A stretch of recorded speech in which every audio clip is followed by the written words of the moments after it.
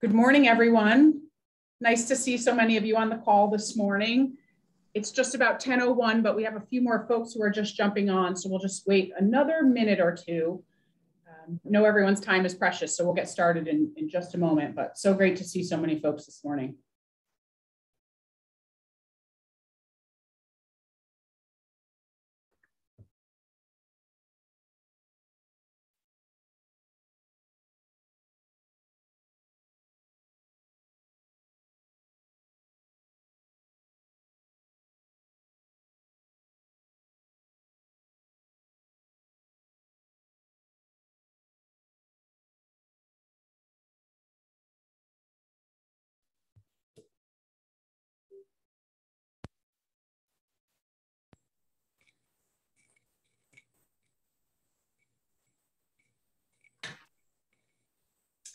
All right. Good morning, everyone. Thank you so much for joining us as we kick off the Fund for Women and Children for 2022.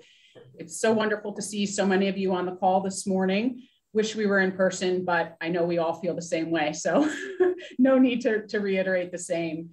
Um, I'm Elizabeth Rowley, the president and CEO of the Community Foundation of Orange and Sullivan, and of course, a proud member of the Rowley family and the Rowley Family Foundation, which is the um, really group and, and uh, you know, family behind the Fund for Women and Children. I'm joined here this morning with my family. I'll introduce them quickly and you'll hear from all of them in a moment. But of course, my stepmom, Marianne Murray, my father, Rich Rowley, and my sister, Lauren Rowley. So they're all here. Say hello, everyone. Good morning. Hello, good morning. nice to be here. So we're all in the conference room at the Community Foundation. We've got some cool technology going. So hopefully you can all uh, see us and hear us as, as we go through the presentation. But just a couple of other quick housekeeping notes. Um, we are recording this call this morning so that we can share it with folks who were not able to join us. So just uh, behave. a note about that. Yeah, behave yourselves.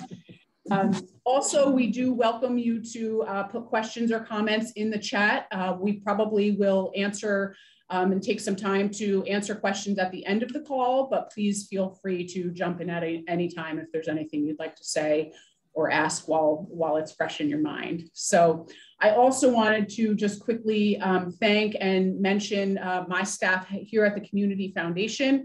Um, we're joined by Nicole Feller-Lee, our Director of uh, Development and Communications, uh, Megan Martini, our Communications and Administration Associate, and Lisa Mitchell, our Programs and Donor Services Coordinator, the newest member of the team here at the Foundation, who hopefully many of you will be meeting in the weeks and months ahead. Good morning. So just quickly, we wanted to um, share some remarks about the background of the Fund for Women and Children for those of you who may um, be new to this initiative um, and this, this effort that we uh, are putting forward today and, and sharing some news about. Um, but just some quick background, this fund was established in 2019 with an inaugural round of grants to 15 organizations in the three counties that were focused on, Orange, Ulster, and Sullivan counties. Uh, those grants back in 2019 totaled $519,791 and really, this strategy was designed to be as efficient and effective as possible in targeting resources and solutions that are making a difference for women and children here in our communities. Now, these 15 inaugural grantees each offered a unique and impactful program structured again to empower women and their families here in our region. Uh, while the majority of these programs were underway or even completed by the time the pandemic swept our nation and our region in March of 2020, others pivoted to provide critical supplies such as food, PPE, and other resources to just simply survive. In a few minutes, we'll hear from two of the inaugural grantees who will share their experiences and a couple of stories about the impact these grants had on them in 2019 and 2020. Now, here we are, nearly 18 months. It's hard to believe, but 18 months after the world as we knew it really ended and came to a halt, with an even greater concern for the well being and the future of women and children in our area and around the country.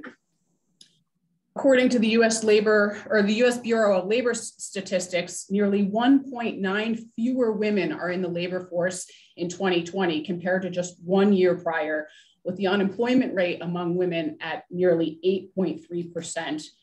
Now, I know I don't have to tell all of you about the many challenges of hiring and retaining employees these days, particularly in the nonprofit sector, healthcare, hospitality, and education, which were all roles traditionally filled by women. This is further exacerbated by the closing of schools, changing in schedules, and the lack of affordable quality daycare, paired, of course, with the heightened cost of basic supplies like gas and groceries, the challenges are overwhelming and too list to long, too long to list, and really have impacted all women and their families, particularly women of color and in low-income communities. For these reasons and more, we remain committed to doing our part in getting out the help and hope that this funding opportunity will continue to elevate this population and move them towards healthy, productive lives. So I'll now turn over the microphone and the camera to Rich for some additional remarks, and then we'll hear from Marianne in a couple minutes. Thank you, everyone.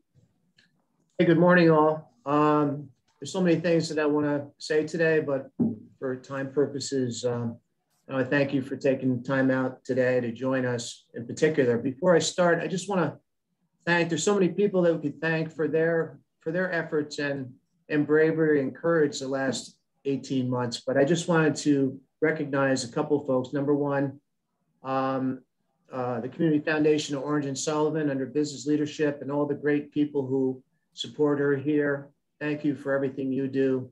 I want to thank the Dyson Foundation for their um, amazing um, leadership during the last 18 months, especially for their, you know, the communications and their surveys and identifying what your challenges were in particular during the last 18 months. I think that was very helpful to, to, to all of us.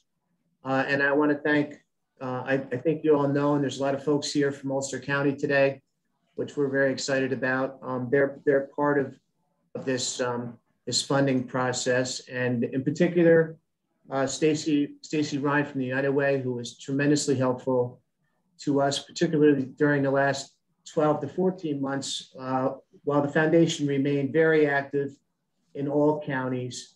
Marianne's going to kind of go over some of the things that we feel like we accomplished. Um, but Stacy was very helpful to Marianne uh, um, in, in the, her Ulster um, endeavors, uh, Carve and otherwise. And uh, so I wanted to thank those folks. Um, so, you know, this really all started, it's hard to believe, but in 2018, I think most of you have are familiar with this report that we um, put together with the Moonshine Group's help. Um, and uh, then we kicked the fund off in March of two, 2019. But I think when you look at the report, um, I guess the happy, sad, you know, part of it is, is that, you know, I'm happy that we did so much great work in the last three years, but sad that many of these issues that were identified in the report remain probably at the same level that they were when this report was put together, in many cases, probably worse.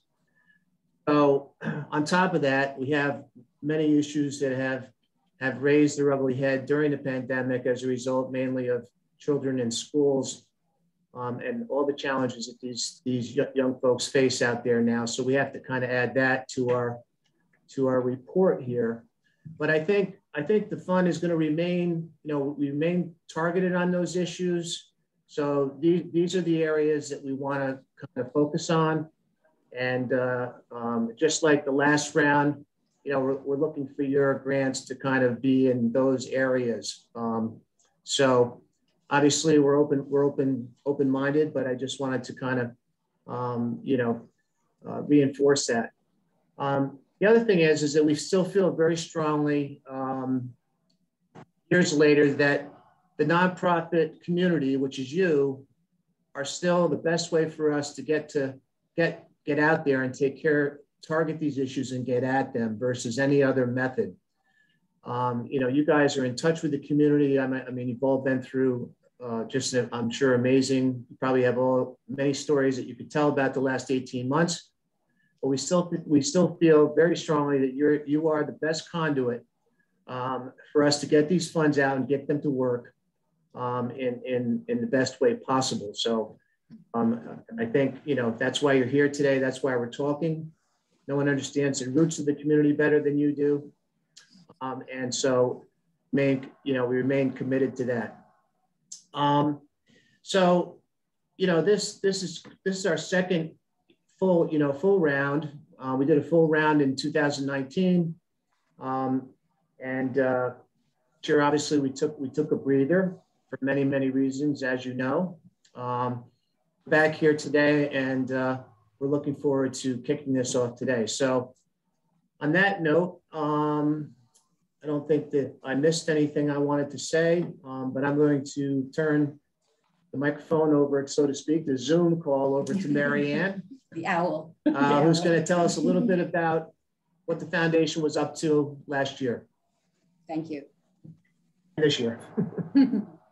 uh, I'm going to pick up at the um, at the start of the pandemic, way back in March 2020 and I know they always say it's it's not good to go backwards. It's really best to go forward. But for the purposes of this conversation, we thought that we might take a moment to shed some light um, on how we decided to move forward in support of COVID-related critical needs over the past year and a half.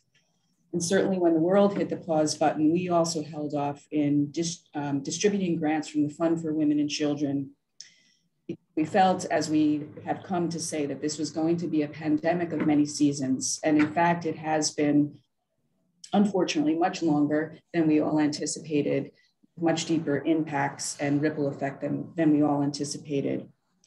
We began to talk to people and have Zoom calls, many of you who are on this call with us today, in addition to school superintendents. And what really was touching us deeply was the, was the impact this pandemic was having on our children, and in particular, the disruption to their education and home lives.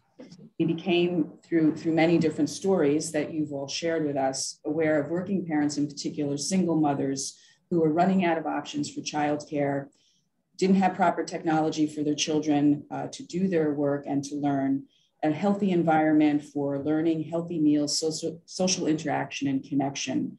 So we decided, particularly when it was um, evident that schools were not going to be able to go back in person learning, that it was time to step in and step up and support those agencies who pivoted so quickly to provide these critical services. Among them are the Center for Creative Education, the Boys and Girls Club of Ulster County, the Middletown YMCA, the Kingston YMCA, the Hodge Center, and a teen parent program led by Frank Mulhern for high school kids at the Ellenville School District. Each of these agencies worked collaboratively together. They pivoted on a dime um, to meet a need as a remote learning center, providing self, safe and healthy spaces for parents to leave their children while they then had to return to work. And in many cases, they did so free of charge. They provided both breakfast and lunch. Um, in many cases, they established food pantries so that these parents could also pick up dinner for their, when they were picking up their children. They provided the necessary technology. They provided tutoring and mentoring. The list just goes on and on. It's, it's um, in, in, incredible what they did so very quickly. And while this seemed like a radically different strategy, giving strategy than our original mission expressed for the Fund for Women and Children regarding transformative change, we really felt that this, hub, this, this public health crisis required a radically different outlook. And we really felt over the past year and a half that this was one of the best ways that we could utilize um, our resources. Additionally, we, we helped to launch the COVID Fund through the Community Foundation of Orange and Sullivan counties. We gave similarly to the fund for the Community Foundation of the Hudson Valley. We also gave to a wonderful organization called A Single Bite in, in Sullivan County that pivoted from a nutrition school-based program to providing thousands of unbelievably nutritious meals for many, many families living in very rural, remote, remote parts of, of Sullivan County. So we feel the timeliness of this grant cycle is critical to all of you in our nonprofit world to inspire, to continue to inspire not only transformative change, also really to restore wholeness and wellness to our local communities. So we'll continue to monitor this health crisis and we count on you to bring to light um, ongoing critical needs, and we, we hope to bridge those gaps whenever we're able. Um, we're committed, as, as both Biz and Rich have said, we're more committed than ever to supporting you through this unprecedented time, even though we're sort of tired of saying that. And we really look here, we really are looking forward to reading your, your uh, proposals, your applications, and staying in touch with you over the next four to six weeks as this process unfolds. Thank you. Thank you so much, uh, both of you, for, for your remarks and incredible leadership. Um, I know you say thank you to the Community Foundation, but really thank you to you both for, oh, I'm gonna get oh, choked up. I can't help myself. This is me, always crying and getting, getting choked up. But anyhow. It was me last time, so it's your turn. It's my turn, I guess, today. So um, anyhow, thank you for your, your incredible leadership. And Lauren, I know you're not gonna say a word over there, but thank you for all that you do um, for the Fund for Women and Children and really outside of this initiative for our community. I know you've been very busy through the pandemic shopping for homebound folks and doing all sorts of good work. So thank you for that. Um, so as I mentioned, we wanted to uh, hear from a couple of our inaugural grantees um, this morning. We thought it might be um, interesting for you all to hear from them and, and learn a little bit about their programs as well as you know how these grants really supported their work. So we are going to start with hearing from Lorraine Salmon, who is the Executive Director of Institutional Advancement for Ulster Community College Foundation, um, to share a little bit about what, uh, what they call their Lights for Learning program. So Lorraine, you're up. Elizabeth, thank you very much. And don't get the crying started because we do that daily around here. Um, so we start by just thanking you. We, we received an initial $30,000 grant for Lights for Learning. Lights for Learning was founded some 20 years ago here at SUNY Ulster. We were really way ahead of our time. Um, we realized that um, there were so many things that happened to a student during the course of their education. And so often we think of students going to college as coming out of high school and going to college. But as many of you know, community college, it is so often um, adults, um, folks who, for whatever reason, um, had to leave their education and are circling back. Their parents, they have children, sometimes their parents with children going to college, and um, parents who are aging, and they're trying to go back to college. So it gets very complicated. I see my friend Dawn on, on the call too, and she can vouch for that at SUNY Orange.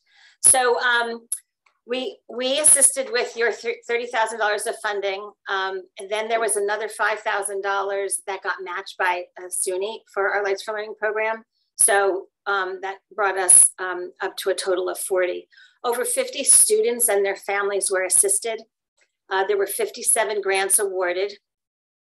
Uh, the support of these students funded by the Rowley grants went to things such as childcare, mental health counseling, electric bills, rent payments, past due tuition, allowing a former student who maybe didn't finish their education was never able to pay their past bill.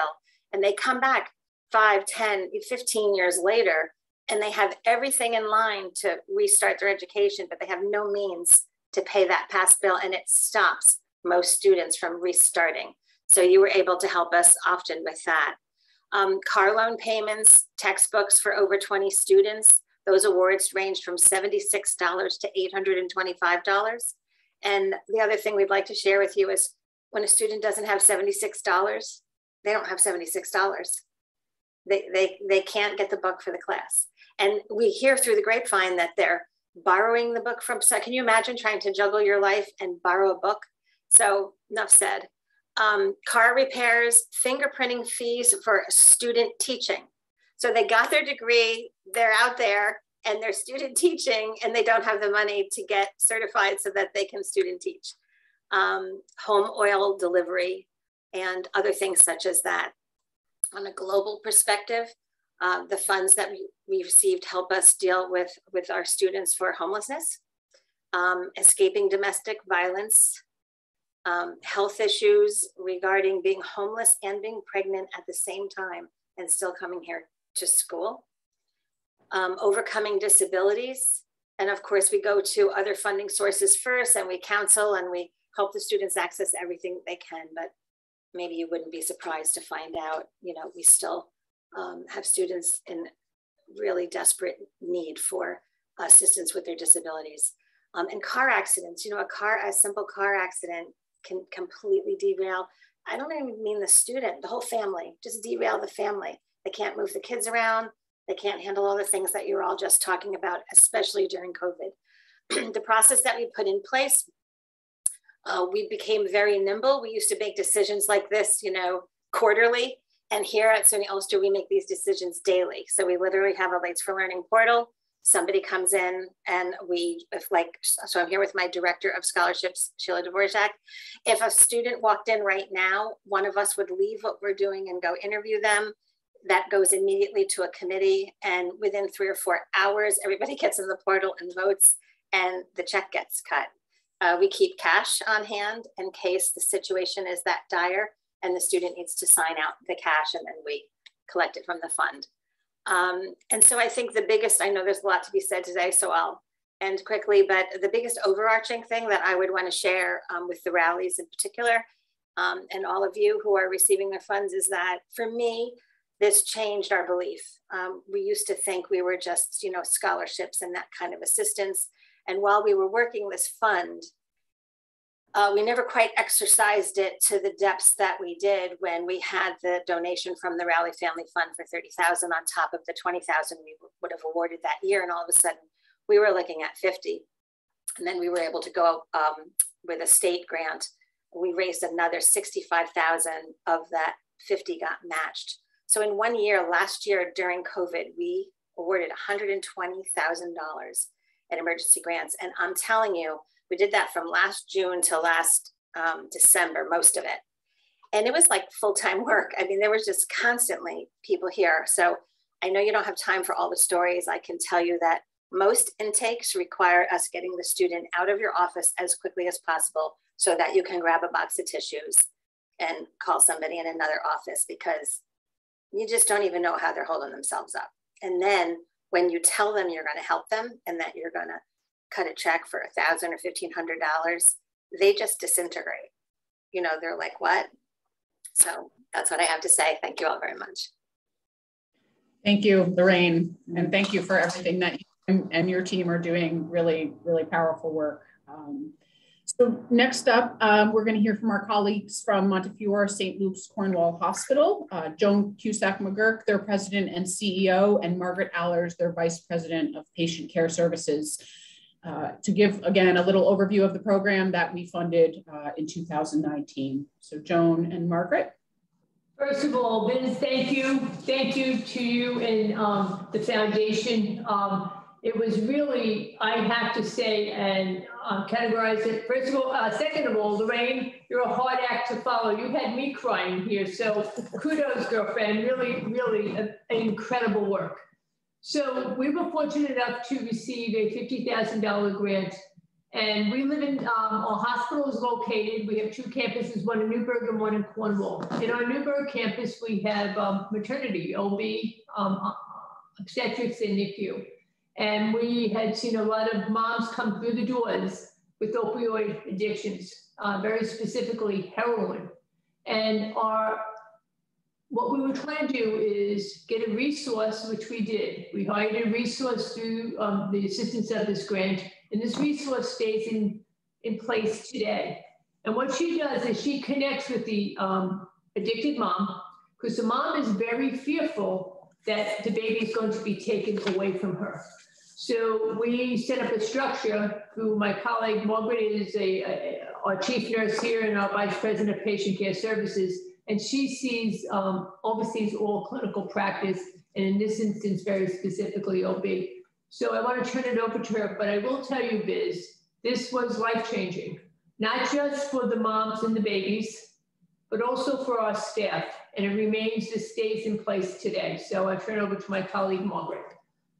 Thank you. And, and, and thank you uh, to the Rowley family and to um, uh, the Women um, and Children Fund um, I have to say this this one was very near and, and dear to um, to my heart. Uh, I've been a nurse for 37 years, and I've watched um, addicted moms come into our hospital, deliver their babies, um, and their babies being taken away, rightfully so. They are addicted and they can't support their uh, their babies, and they're reckless. And um, and and they cry and they and they want to keep their babies, but they can't control their addiction. So Two years ago, we had this vision to help support those mothers who are addicted to drugs and who find themselves pregnant without a means or solution uh, for their baby and for themselves. Um, again, many are frightened that if they let anyone know that they are pregnant and that they're uh, that and that they're still doing drugs, that the babies will be taken away from them. Which, uh, quite honest, honestly, uh, that that is a true statement. Um, the many are frightened to, get prenatal care. Um, again, fear for the system, fear of the system. They know if they, they are found out to be addicts, that they will be followed, and uh, and they worry that they're again that they'll deliver and their baby will be taken away from them. Um, we hear uh, far too often that the mothers tell us that they, you know, they try to stop doing drugs and often they'll commit themselves to not doing it again for the sake of the baby. However, as we know um, far too well, that addiction is powerful. And despite their attempts, once the withdrawal sets in, that they end up uh, relapsing. So our vision was to insert ourselves and partner with the addict as their coach uh, show them the way to a safe way to finish their pregnancy. Uh, ideally, we want to catch them, um, you know, in the middle of their uh, their pregnancy. Um, and at this point, the, the solution is generally when we partner with them is to get them on Suboxone or, or, methadone. I'm not saying I'm a proponent of switching one to, to another, but Suboxone and methadone make people live uh, many years, some forever on, on methadone, and it helps them to get that reckless um, life that, that they're that they're living out on the streets and, uh, and you know, um, doing whatever they need to do in order to get the next, uh, the next drug.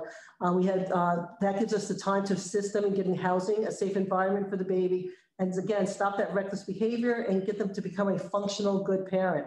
Um, we do meet many parents for the first time once they arrive at the hospital, but again, our ultimate goal is to engage with them at the time that they are still pregnant. And we've, and, um, we've worked a lot with our um, recovery, um, in a lot of our um, community services to help us to, uh, to, to, get the, to get the message out and to be able to speak to women who are, uh, who are addicted and, and, you know, trying to get into recovery. So our first year was about partnering with many program, many of the programs that assist drug addicted women and to convince the women that we were here to help. Their goal was not to take their baby away, but to, to help them and so that they can keep their baby by successfully getting them into an outpatient program and to get their life together again with housing and a means to support them and their baby. Trust was one of the biggest hurdles that we had to overcome because they needed to be able to trust us and did not think that we were just, you know, uh, trying to manipulate them. Another, another goal that we had was to help the mother to know what to expect to not to not think that we were going to judge them once they deliver and to trust that we don't want to take the baby which is why we want to partner with them during their pregnancy the, uh, the baby will absolutely be in our NICU and we want them to, we want to help them to sort of forgive themselves and understand that the baby's journey for the next four to six weeks was going to be that they were going to go through withdrawal. They even on methadone, they'll go through withdrawal, but it was an opportunity and a time for us to keep the mother going through recovery and, and helping to create that foundation.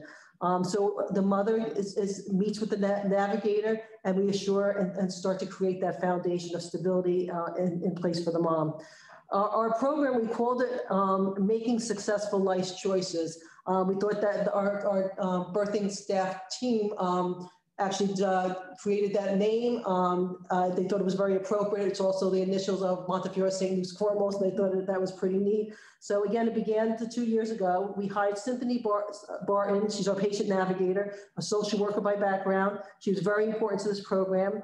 And again, initially, uh, what we set out to do was to um, was to create the foundation, and we committed ourselves to see 12 patients in the in the first year. And we thought that that was might be a little uh, steep because, um, you know, again, we were trying to get ourselves out there. Hospitals, the staff who have taken babies away from mothers who are addicted, rightfully so again, um, you know, to try and create a trust out in the community. And uh, in the past two years, we've seen 84 patients. So we more than exceeded our goal. The goal for Cynthia was to help those new mothers be successful in their recovery. Um, some of the women, again, come to us pregnant, using substances, asking for help. Many women come uh, uh, and come through inpatient, other inpatient programs that they are struggling with. Um, some women have lost their babies due to substance use and, and we engage them at, at that point. But our ultimate goal, again, is to engage them during their, uh, their pregnancy. And we've been able to, you know, uh, you know, catch many people through partnering again with the community services, we've been able to capture many uh, uh, mothers who have been, um, you know, uh, you know, during their pregnancy. Uh, we help them and, and walked them through the incredible complex uh, and frustrating processes of going through, you know, DSS, obtaining housing, staying in the program. Many of them have to attend court uh, proceedings and helping them through that is very discouraging for them. And often is, is part of the reasons why they'll say that they relapse. So us being a coach to, to, um, to these women have really helped them to be success, successful. We've created through, through the last couple years, um, again, work with the re, uh, referrals and, and, local agency and really having them support us. We've been able to create a lot of uh, support groups for these patients. So we've created a, um, um, a support group uh, via Zoom, and it's very, very well received. Many of the mothers that we've helped from, from two years ago are still meeting with us. Um, just some statistics on the programs. We have eight mothers ha that have been granted custody of their babies that have previously, the babies had been in foster care. Four more are currently working on, on, on getting custody. Um, it, it's, a, it's, it's, sometimes it's, it's months of, of working alongside them, but we're committed to help them. We had 11 mothers who were assisted with housing applications. Two moved into supportive housing and one is living in a Section 8 housing. 12 mothers who were assisted with uh, intake processes for inpatient treatment. Eight, eight of those 12 followed through and were admitted and to date are still attending meetings and actively participating in their recovery and have their babies and have not relapsed uh, but continue to attend uh, Cynthia's uh, weekly support groups. And we have six mothers who, is, who are just, just recently started on in an intensive outpatient treatment and five that continue with uh, treatment uh, today. So many, uh, again, high, this is a high risk population to relapse and many who with the support of our, our navigator have been able to, um, to, to, to be successful. I can't tell you the great feelings to see so many women who are about to lose their babies for good and to, and to have them, see them be able to put forth through this program to support them and, and get them uh, ready to, to become sober and start putting a, a good, solid, stable foundation in place and to be able to keep their, um, their babies. We have one mother that, that started, um, we met probably two years ago, and she had lost her first child and she was about to lose her second child. She was um, maybe seven months, eight months pregnant when, when we met her.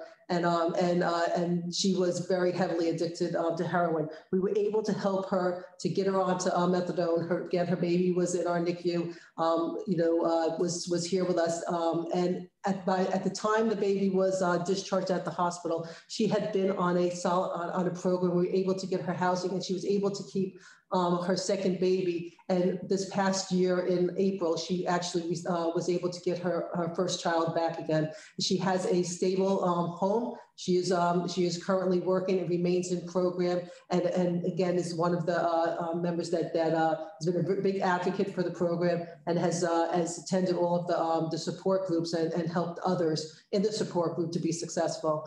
So this has been an incredible program for us and one that has, uh, again, you know, we had a vision and we were able to make that vision come uh, true, come through, you know, with the funding that was provided by the Rowley family. So again, we thank you. Great job. Wow. Yeah, thank you. Thank you so much. Talk about the tissue box, holy moly. thank you for, for sharing all of that information and, and the stories and, um, you know, on top of what I can imagine was an incredibly challenging time with with COVID-19 and, you know, a high patient load and, and all the other challenges. So thank you to, to everyone at the hospital for, for your efforts. Um, thank and you. thank you. Thank you. Th thank you.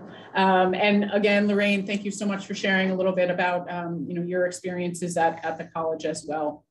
Um, so now you're probably all wondering what's next. Um, so we're excited to say that as of this morning, um, applications to apply for funding for 2020, 20, 2022 are officially open. You can find those applications on the Community Foundation's website. We'll drop that link in the chat in a moment. Um, but again, we encourage you to think about innovative and unique programs that you're providing to really support and elevate women, children, and families in Orange, Sullivan, and Ulster counties. Last time around, we did have several, several collaborative applications as well as applications that impacted you know, groups from across the three county area. So we really do encourage you again to think about those collaborations, ways to work together and you know, truly make a difference. Um, once again, we are looking at a relatively short timeline, but I know um, I know how the nonprofit sector works, and I know a, a, good deadline is is encouragement. So we are looking for these applications to be submitted on or before Friday, November 19th. Um, so just a week before Thanksgiving and about a month from today. Um, we also encourage you again, if you have not already, to look back at that 2018 Women and Children report that we mentioned earlier in the call, that can also be found on the Community Foundation's website. Um, take a look through it because those really continue to be our primary focus areas for grants um, moving into 2022. Grants, again, this round will be available for 15,000 to $50,000. Um, we're not saying exactly how many we're going to consider. It really just depends. Uh, last round, we received about 90 applications uh, totaling several million dollars. It was a a very difficult process uh, to make those decisions. And um, again, so many wonderful organizations doing great work out there. Um, but again, that range really is 15,000 to $50,000 uh, for those, those grants ultimately. So our intention is that those applications will be reviewed after November 19th. Funding decisions will be finalized and made by mid-December. Um, before the year concludes, of course, so that proper planning can be done for 2022. Um, we hope that you all will agree as you're moving through the process that the application is not too cumbersome, certainly not uh, anything compared to the, the state and federal grants that I'm sure many of you have battled with uh, over the years, but really we tried to get right to the heart of the issue, um, requesting responses to some straightforward and important questions um, on that application. Um, as always, uh, the team here at the Community Foundation of Orange and Sullivan is available to answer any of your questions, so please don't hesitate to reach out.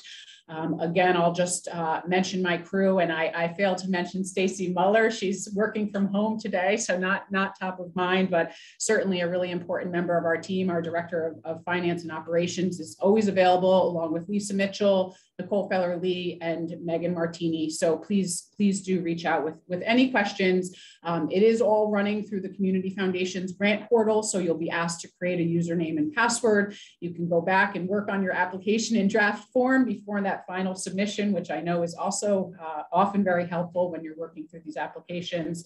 Um, so please um, take a look at that. And again, that deadline is Friday, November 19th. So that really wraps up our remarks. I'm going to just check the, the chat um, here to see if we have any questions, um, but we certainly do welcome any, any questions there and we'll address those for, for the next couple of minutes and then um, let you all move on with your day. So um, it looks like, again, the, the link is there, uh, cfosny.org.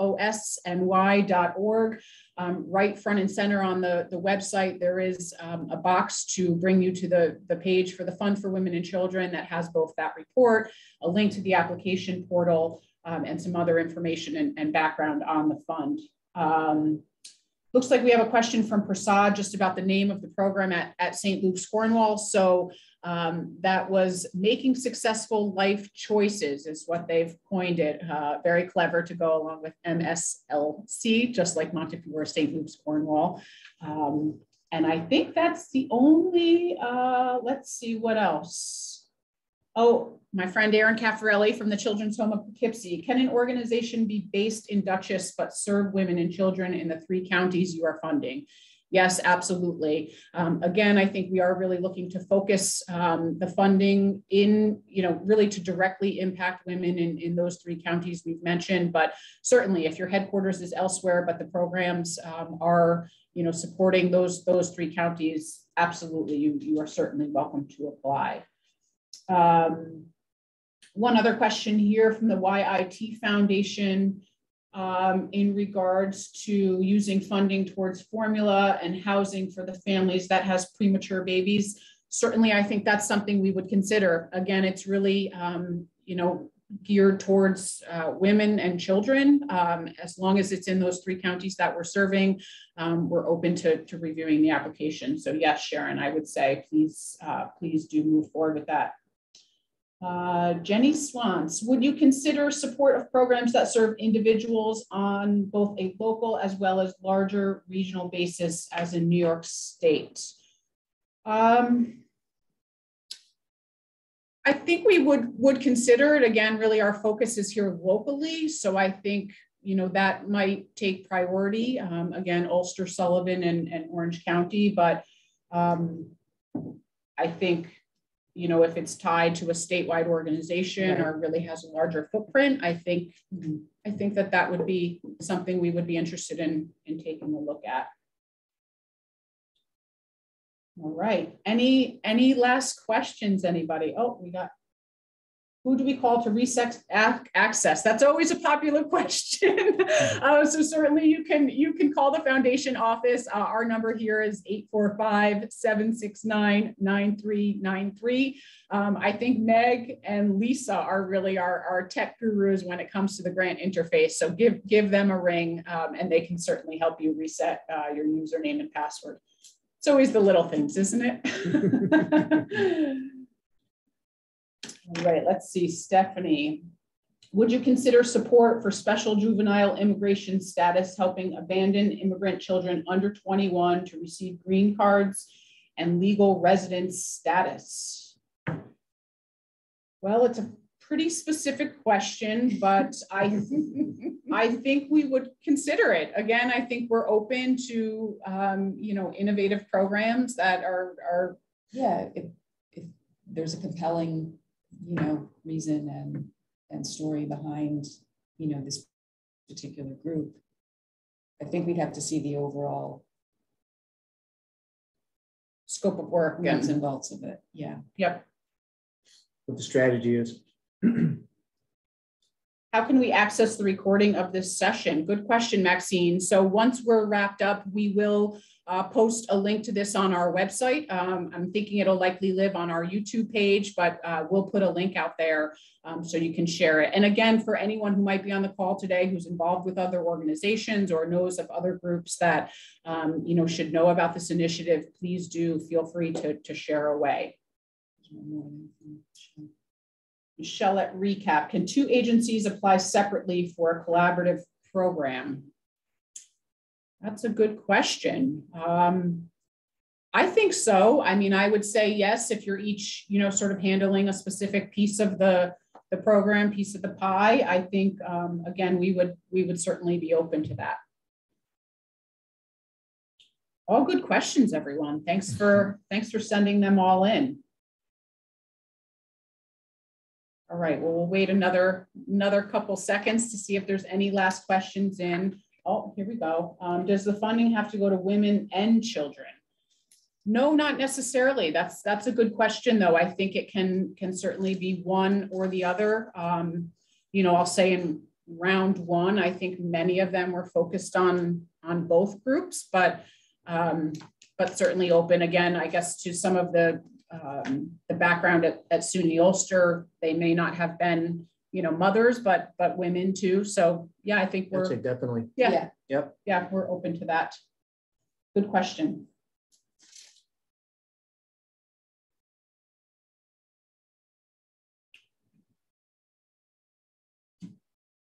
Okay, last or one more question here. I apologize if it was said, but is general operating support for a program or are you looking for new or innovative programs?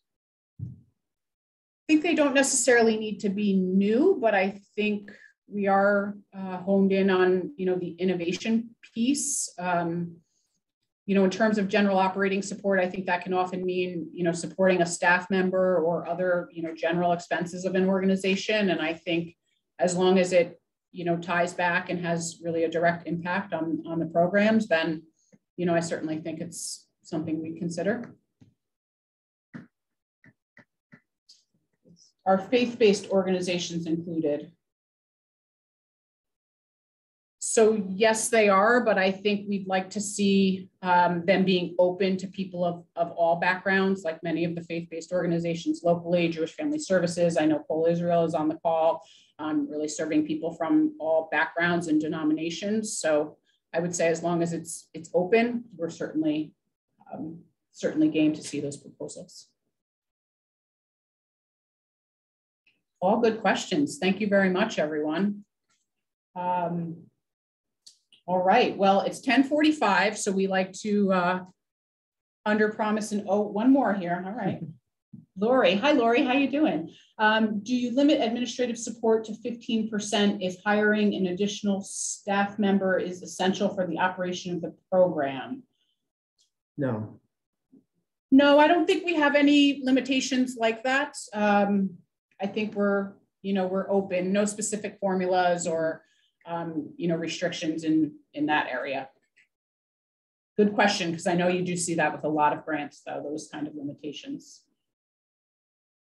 Thank you, Lorraine. For your, thank you for your comment.